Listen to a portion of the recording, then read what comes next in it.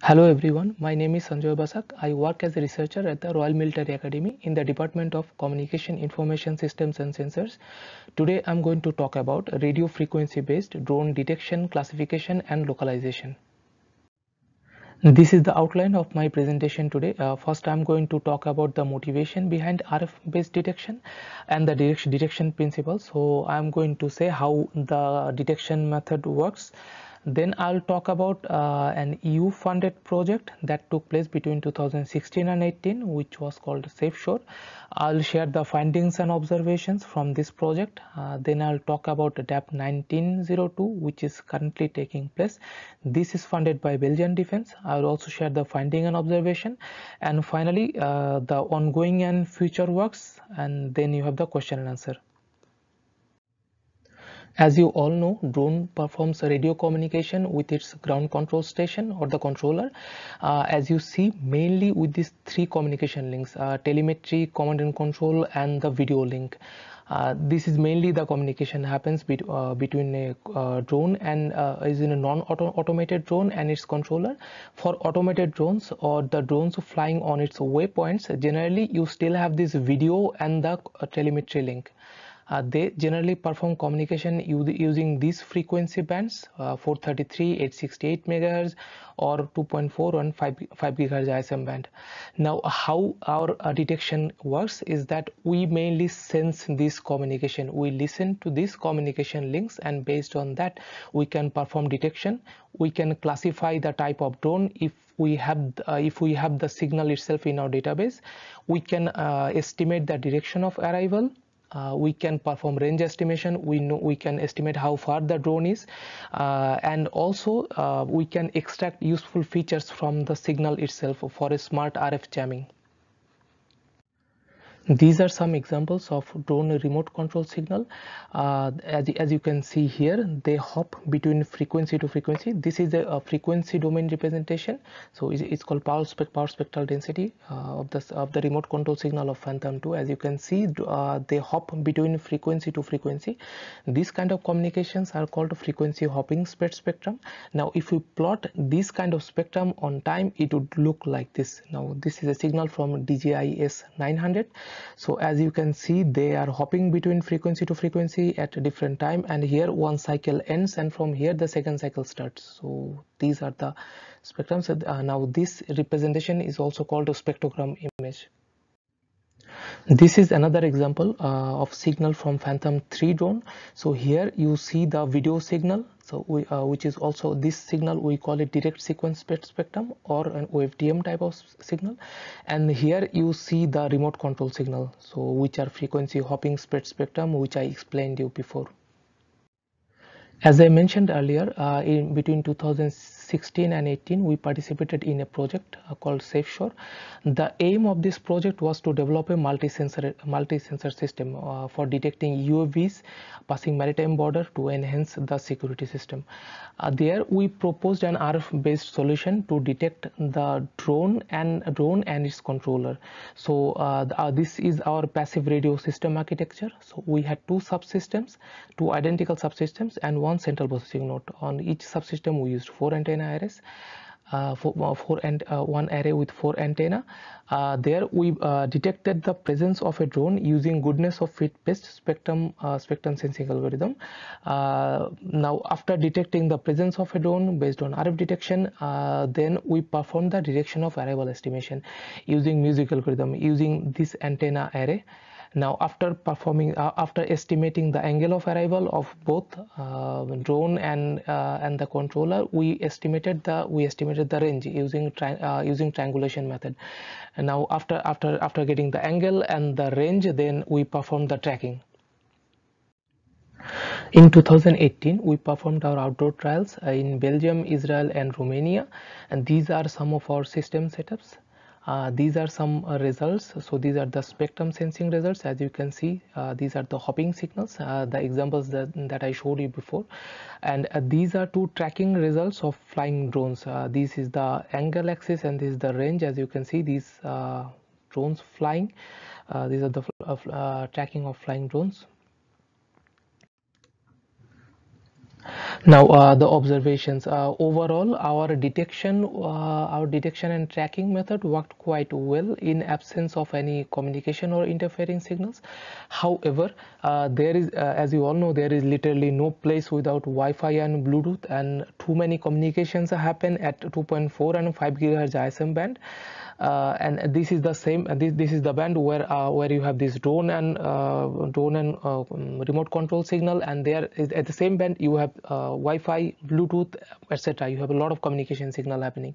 And this is one plot that i made uh, here. As you can see uh, there you have uh, wl toys and these are the remote control signal. You have a Tello drone you have parrot you have wi-fi signal. So you have all of the communications happening simultaneously at the same band. So and if you need if you want to uh, detect precisely which signal belongs to which source then you really need a very specialized detection technique. So you need a specialized uh, technique to differentiate between a drone and a non-drone signal. And also if you want to classify what type of drone there you also need one specialized uh, detection classification technique. And furthermore and if you want to neutralize a drone um, by RF jamming using protocol uh, protocol aware jamming you need more more knowledge about the signal itself. For a protocol aware jamming you need the you need to know the operating frequency. You need the time of time of uh, time instance when the communication is going to happen.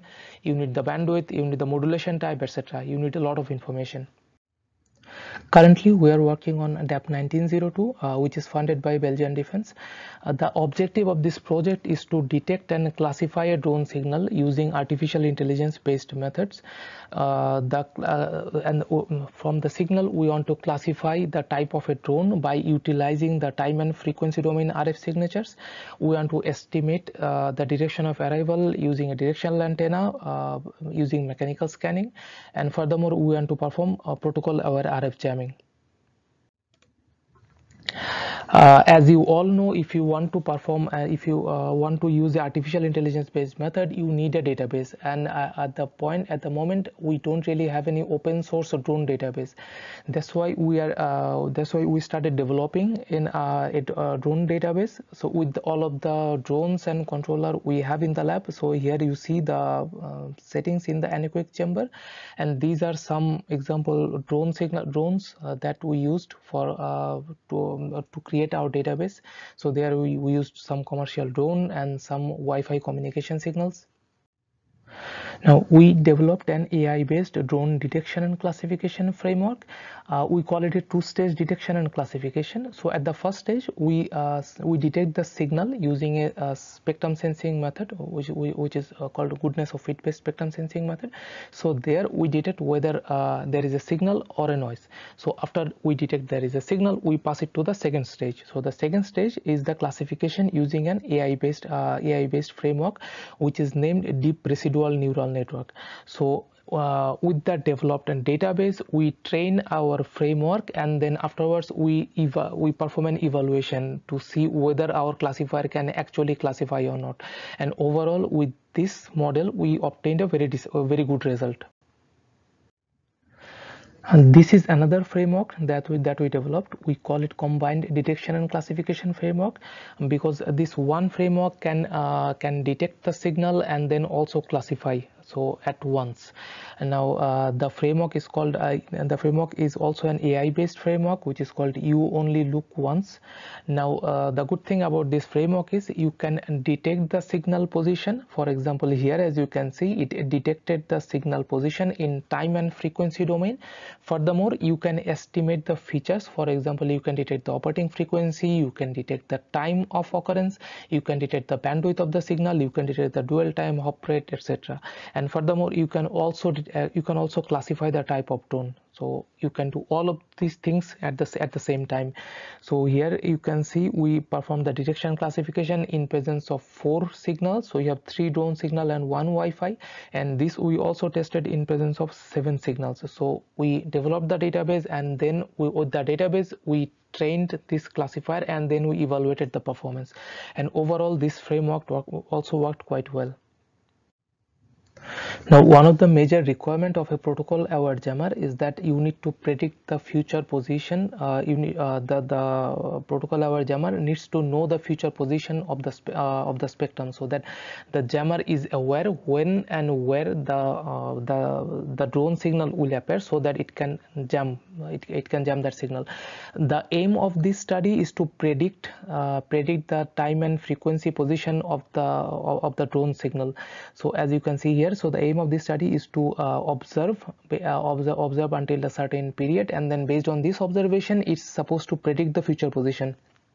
Uh, if you look at spectrogram so it's the same. So based on this observation uh, my framework is supposed to predict these positions uh, now we are we are currently using two uh, methodologies. So one is automatic spectrum position uh, prediction uh, automatic spectrum prediction method. So this is based on an AI based framework which is called CNN LSTM framework and then we are using another two stage approach. So uh, there uh, uh, the YOLO model as I showed you before will detect the current spectrum position let's say these spectrum positions and based on this spectrum position an autoregressive model or another AI based framework this will predict the future positions now we are using an AI based framework for drone signal prediction uh, and the framework is called CNN LSTM framework. The aim is to learn the frequency hopping pattern. So let's say if, if my drone has a pseudo random hopping pattern, the aim of this uh, the aim is that this framework will learn the pattern and then the predict then predict the future positions. Uh, overall our framework worked quite well. So we uh, we generated synthetic data and also uh, commercial some commercial drone signals. So to uh, and then we used our framework to learn the pattern based on an observation period and predict the future pattern. And there we tested with a fixed pattern and then a varying varying hop pattern so overall our uh, our model predicted quite well. These are some examples where it learned the uh, the pseudo random frequency pattern hopping pattern and then it predicted okay so so far we have worked uh, with some supervised ai based frameworks. Now the limitation of such framework is that it can only classify the known signals uh, uh, known signals available in the database and the library.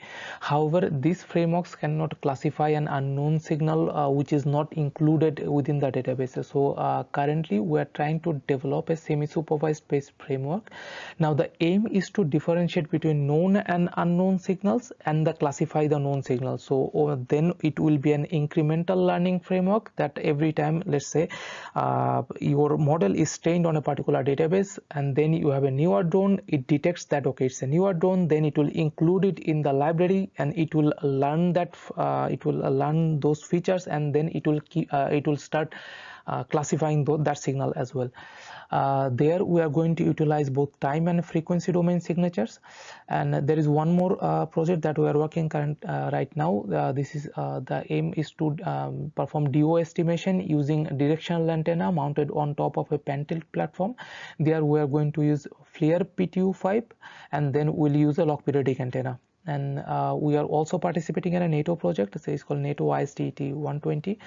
Uh, the title is RF fingerprinting of drones. So the aim is to create a uh, drone library uh, to de uh, for, for developing such frameworks Okay, so some final thoughts. Uh, so drone neutralization through smart RF jamming or protocol aware jamming is possible. However, you need a very precise detection and classification. Now the benefits is that you can jam with a high transmit power. So let's say you have a specific amount of transmit power. If you uh, if you use that to jam only a specific hop then you can use you can use the complete power to jam that hop and this will be effective at a very longer distance. Uh, furthermore you can only mute only only jam the malicious uav so let's say if you know that which signal belongs to which drone let's say this signal uh, you have a, you detect a signal that belongs to a friendly drone you don't need to jam that signal. And then you know that okay this signal belongs to uh, a malicious U malicious uav so you just only jam that signal. Uh, furthermore in public places it's uh, you, you will be creating less interference minimum interference to the surrounding RF communication. As I showed you before that in the same frequency band you have Wi-Fi Bluetooth and then drone signal. If you know uh, which signal belongs to a drone then you can only jam that signal while creating minimum interference to the RF communication. And if you have a multi-sensor environment this is always also useful a precise detection and classification. So let's say if you know the range and angular position from an RF detection you can pass that to a separate sensor or to a separate neutralization method. That's all from me today. Uh, thank you very much for listening. Thank you very much for attention. If you have any question please ask. I hope i'll be able to answer. Thank you